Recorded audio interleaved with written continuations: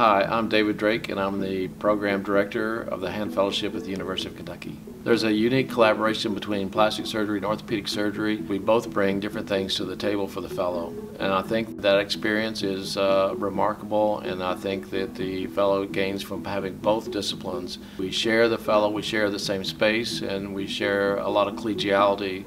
I strongly believe that a hand surgeon needs to have the training expertise of both a plastic surgeon and an orthopedic surgeon. I chose to come here mostly because of the people. I really enjoy working with the other hand surgeons here and the other folks in both the plastics and orthopedic departments. I think the fellowship opportunity here at the University of Kentucky is a tremendous one.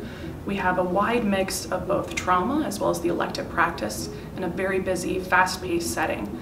This is going to allow a fellow that trains with us the comfort in taking care of a vast majority of hand surgery patients.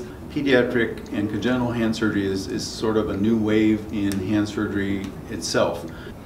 Many fellowships don't have the opportunity to rotate at a Shriners Hospital or a busy children's hospital where you'll gain experience in treating congenital conditions as well as fracture care and post-traumatic injuries. We are excited about the opportunity to have fellows come and work with us at that facility. At the University of Kentucky, we have the pleasure as well as the challenge of being a quaternary referral center. This means that we get patients from all across the state and neighboring states that have very complex issues.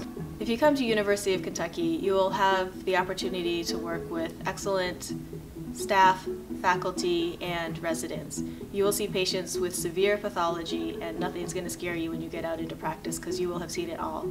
The University of Kentucky is supporting our research efforts, they're supporting uh, our new facilities, and it's a great time to be at the University of Kentucky.